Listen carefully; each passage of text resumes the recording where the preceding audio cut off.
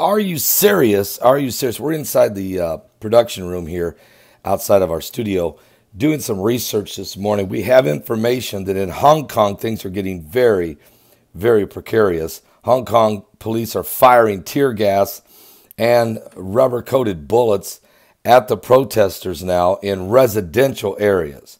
So, what the police are doing now, instead of staying in one spot and letting the crowds come to them, the they are now going into the neighborhoods, shooting at the residents and forcing them back into their homes. Now, Hong Kong demonstrators and police certainly are clashing for the second straight day as the city's uh, China backed government struggles to quell the growing discontent amid the violent clashes that have marred the historic movement in recent weeks. Matter of fact, riot police have fired volleys of tear gas at hundreds of black shirted protesters and wrestled some people to the ground to make arrests on Sunday.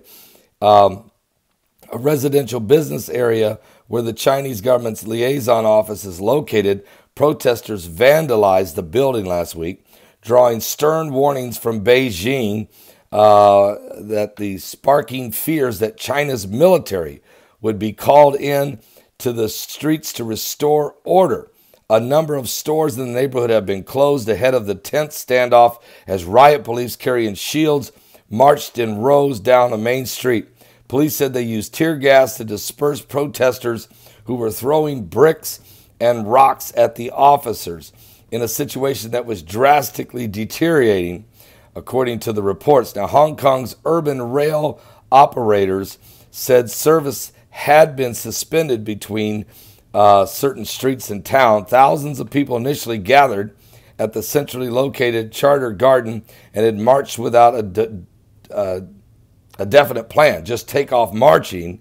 Um, and so, because they're very upset, the communist government of China is trying to really take over the entire government, local government of the city of Hong Kong, which was agreed upon when the British gave Hong Kong back to China, that China would allow Hong Kong to remain completely independent, only that they would pay their taxes to the government of China, to Beijing, but that they would have the right to be free, free elections, openly their own court system, that they would, uh, you know, monitor themselves, they would uh, police themselves, and that they would operate in a world community of independent, like an independent nation would, only paying their taxes to communist China, that they would not be under the communist rules and regulations. But of course, over 23 years, 22 years it's been, here come the commies.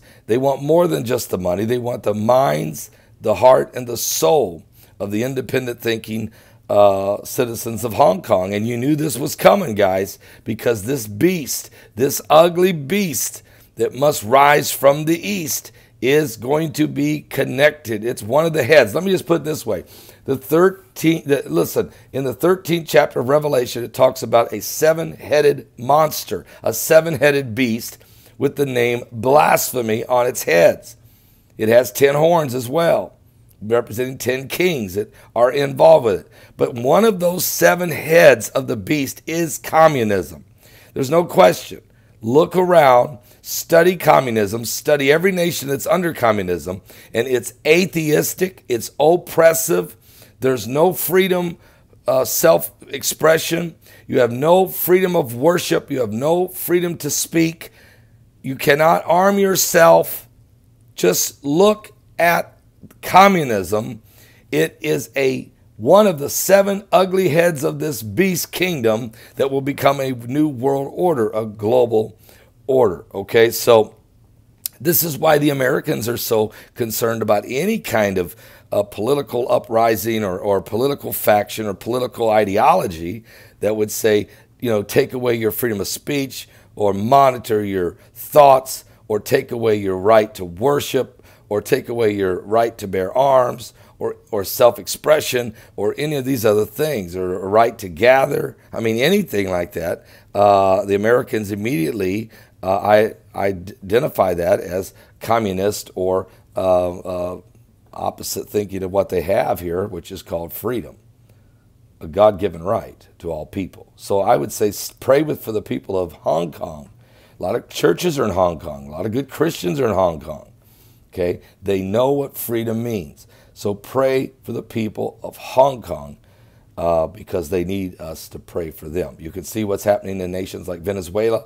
You can see what happened to Cuba after Castro's communist regime took over, closed every church in Cuba, murdered the priests, raped the nuns, shut down religion, confiscated Bibles. We know what Stalin did to the, to the Russian people confiscated Bibles, shut down churches, locked down freedom of speech. They disarmed the people. Look what Venezuela's done. When Hugo Chavez took over, took away all the people's guns and began to systematically take away their rights, their individual rights. It's look what North Korea's done. Three generations now of oppression upon the people with no, no, you cannot, no freedom of worship, no freedom of speech there. You cannot bear arms. You cannot have any kind of self expression. Guys, it is a beast. It's one of the heads of the beast. So pray for the people of Hong Kong as we watch what's going on around the world. We'll be back with more current world events and how they relate to biblical prophecy. And I'll be back with a live broadcast today at 12 noon Eastern. You don't want to miss it.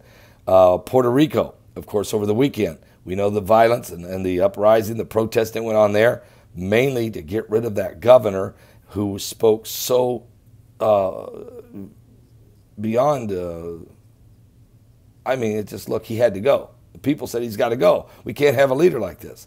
And he's gone. Okay? He's gone. So pray for Puerto Rico now that they get some better leadership and pray that they. Uh, are able to start getting things put together. They need some leadership there. As uh, obviously the deterioration of that of that uh, U.S. territory has has not been good. It's been poor local leadership. So let's pray for them as they go forward. We'll be back with more in just a moment.